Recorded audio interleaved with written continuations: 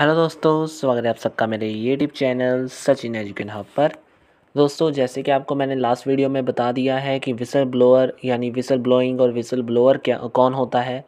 और इसके अलावा आपको इसके फीचर्स और साथ में टाइप्स क्या थे, वो समझा दिए थे। आज हम इसके आगे बढ़ेंगे और अगला हमारा टॉपिक आएगा that is motive of whistle blowing क्या है? जस्टिफेबल विसल ब्लोइंग किसे कहते हैं? और इसमें अनजस्टिफाइड विसल ब्लोइंग किसे कहते हैं? तो आज का या ये हमारा टॉपिक हो जाएगा। तो अगर आपको दोस्तों इसके नोट्स चाहिए, वो तो आपको मिल जाएँगे। इसके अलावा कोई और भी नोट्स लेने हैं, किसी भी कमर्स सब्जेक्ट से रिलेटेड आप मेरे टेलीग्राम चैनल से ले सकते हैं। लिंक आपको उस चैनल का डिस्क्रिप्शन बॉक्स में दे दिया गया है। अब दोस्तों हम सबसे पहले बात करेंगे, आज वो आपके सामने है कि विसल ब्लोइंग का मोटिव क्या है।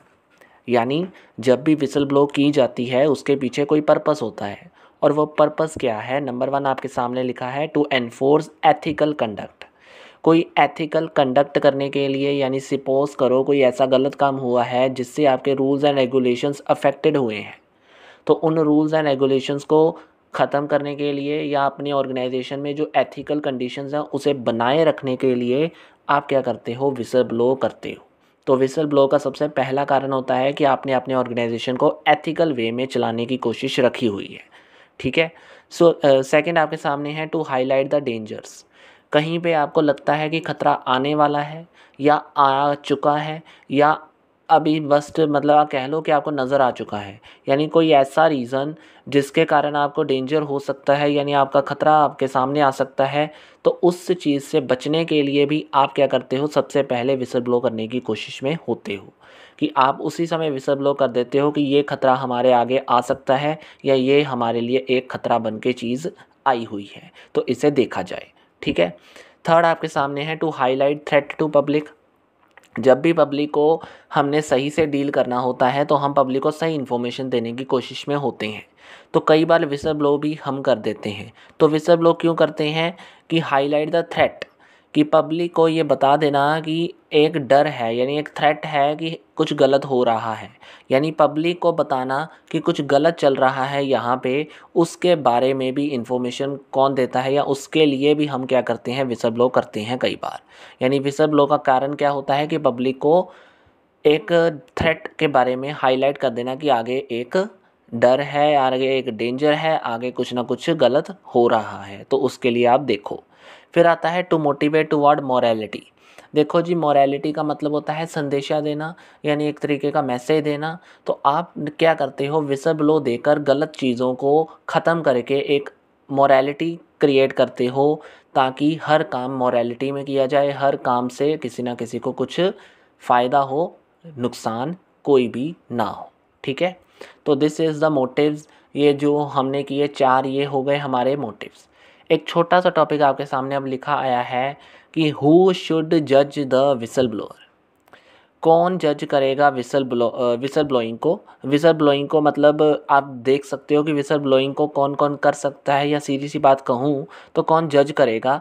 तो जज करने वाला नंबर वन होता है विसल ब्लोअर नंबर टू होता है गवर्नमेंट और नंबर थ्री होती है third party there are the three persons जो इन चीज़ों को करते हैं या जो इन चीज़ों को जज करने में मदद करते हैं. अब ये जजेबल यानी जज एबल का मतलब क्या है यहाँ पे? कि क्या ये जस्टिफाइड है? जो विसल ब्लोइंग की गई है, वो कब कब जस्टिफेबल मानी जाएगी, उसके पीछे कौन कौन से रीजंस आपके सामने होने चाहिए, वो अब हम पढ़ेंगे। तो आपके सामने लिखा है कि is the whistle blowing morally justified क्या विसल ब्लोइंग मॉरली जस्टिफाइड है कि नहीं है? तो उसके लिए आपका आंसर क्या होगा? When whistle blowing is based on an appropriate motive और अटमोस्ट गुड फेथ जब कोई विसल ब्लोइंग किसी पर्पज़ के लिए और वो पर्पज़ है किसी अटमोस्ट गुड फेथ को बनाने के लिए, या फिर आप कह लो कोई आप अप्रोप्रिएट मोटिव के पीछे ये विसल ब्लोइंग कर रही हो, या विसल ब्लोइंग के पीछे कोई सही कारण है उसके रिगार्डिंग ब्लोइंग क्या मानी जाएगी? दैट इज़ जस्टिफाइड मानी जाएगी। पहला रीज़न अगर ये हुआ तो जस्टिफेबल है विसल ब्लोइंग सेकेंड आता है when the whistle blower has exhausted all the internal channels जब विसल ब्लोअर ने देखा कि कोई ना कोई इंटरनल चैनल्स को जान मतलब सारे इंटरनल चैनल्स को एक बार देख लिया, या सारे ऑर्गेनाइजेशन की ओर नज़र मारी, और अगर उसके बाद उसे कुछ मतलब सीधी सी बात है पूरे ऑर्गेनाइजेशन को देखने के बाद, पूरे इंटरनल चैनल्स को देखने के बाद ही अगर विसल ब्लोइंग की गई है, तब वो चीज़ जस्टिफेबल है। यानी एक आधे पहलू को देखकर अगर आप कोई विसल ब्लोइंग कर रहे हो तो वो चीज़ नहीं मानी जाएगी। तो पूरी चीज़ों को जान पहचान आप कह लो कि इंटरनल चैनल्स को पूरा अच्छे तरीके से देखने के बाद ही विसल ब्लोइंग जस्टिफेबल मानी जाएगी।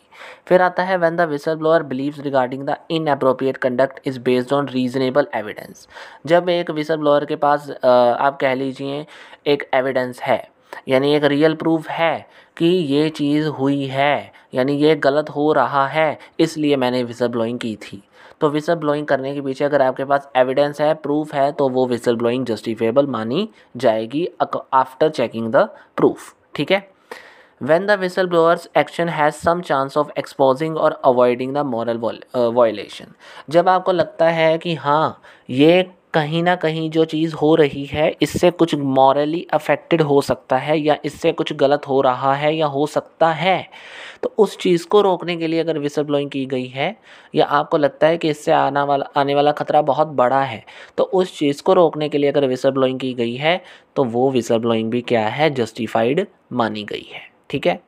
तो ये आपके सामने कुछ रीज़न्स थे, चार रीज़न्स थे जिसके कारण आप विसल ब्लोइंग को क्या मान सकते हो? जस्टिफाइड मान सकते हो। अब आपके सामने लिखे आएँगे कि ऐसे कौन से रीज़न हैं जिनके कारण जो विसल ब्लोइंग है, उसे आप अनजस्टिफाइड भी मान सकते हो। यानी वो सही नहीं मानी जाएगी। तो ऐसे कौन से रीज़न हो सकते हैं? नंबर वन कि when whistle blowing morally justified breach of trust number one क्या है? Breach of trust when the disclosures amount to breach of trust on a part of person makes the disclosure मतलब क्या है? कि जब आप जान बूझ कर किसी का ट्रस्ट तोड़ना चाह रहे हो या ब्रीच करना चाह रहे हो, उसके लिए अगर विसल ब्लोइंग की गई है, यानी विसल ब्लोइंग का मतलब ही क्या है? कि गलत हुई चीज़ों को रोकना। लेकिन अगर कुछ गलत हुआ नहीं है, लेकिन आप जानबूझकर उससे गलत करके किसी का ट्रस्ट ट्रोन किसी का ट्रस्ट ब्रीच करने की कोशिश में हो तो वो विसल ब्लोइंग क्या है? अनजस्टिफाइड मानी जाएगी। ठीक है? फिर आता है इंटरनल चैनल्स नॉट यूज़ उसका उल्टा कर दो, जो मैंने पीछे पढ़ाया कि अगर आपने इंटरनल चैनल्स का अच्छे से इस्तेमाल नहीं किया, सारे ऑर्गेनाइजेशन को अच्छे से नहीं देखा, या फिर आपने सिर्फ़ एक चीज़ की ओर नज़र मार कर ही अपना एक्शन ले लिया विसल ब्लोइंग कर दी तो वो विसल ब्लोइंग भी सही नहीं मानी जाएगी। जब तक आप पूरे इंटरनल चैनल्स को यूज़ करके उसकी हर पहलू को देख नहीं लेते, ठीक है? थर्ड आता है आपके सामने इनसफिशेंट एविडेंस कहीं पे आपको लगता है कि आपके पास सही एविडेंस नहीं है, या विसल ब्लोइंग अगर की गई है विदाउट एनी एविडेंस या फिर आपके पास एविडेंस है और वो इनअप्रोप्रिएट है तो वहाँ पे भी जो विसल ब्लोइंग है वो क्या है? दैट इज़ अनजस्टिफाइड मानी जाएगी. ठीक है? फिर आता है लिटल चांसेस ऑफ़ सक्सेस अब ये लिटल चांसेस ऑफ़ सक्सेस का मतलब क्या है? कि आपके पास वहाँ पे मतलब विसल ब्लोइंग आपने जानबूझ के इसलिए मतलब विसल ब्लोइंग जब इस पर्पज़ के लिए की गई हो, जहाँ पे सक्सेस ही नहीं है, या फिर आप कह लो कि आपने रोका ज़रूर है उसे, यानी whistle blowing is not justified in case it is certain uncertain that it will prevent the wrong मतलब हमें नहीं पता कि हम किस चीज़ को रोक रहे हैं या हमें नहीं पता कि हमने अगर इस चीज़ को रोका है, इसके पीछे क्या मकसद है? यानी उस चीज़ के बारे में नहीं पता जो चीज़ को आपने अभी तक रॉन्ग ठहरा दिया है। तो जब रॉन्ग गलत चीज़ कह दी है तो उसके पीछे रीज़न भी चाहिए। तो अगर रीज़न वैलिड नहीं है तो वो भी अनजस्टिफाइड विसल ब्लॉइंग मानी जाएगी। ठीक है जी? तो दीज आर द टॉपिक्स जो मैंने आज आपको समझा दिए, करवा दिए। और मेरे ख्याल से अगर आपको नोट्स लेने थे, वो आपके सामने थे। आप नोट आउट कर सकते हो। इसका पीडीएफ आपको टेलीग्राम चैनल पर मिल जाएगा। तो दोस्तों, आज की वीडियो में जस्ट इतना ही है। वीडियो अच्छी लगी है विसल ब्लोइंग के टॉपिक्स आपको समझ आ गई हैं तो वीडियो को लाइक शेयर एंड सब्सक्राइब करना बिल्कुल मत भूलना। कहीं पे प्रॉब्लम है तो नीचे दिए गए कमेंट बॉक्स में कमेंट भी कर सकते हो। तो आज की वीडियो में दोस्तों इतना ही है। Thank you very much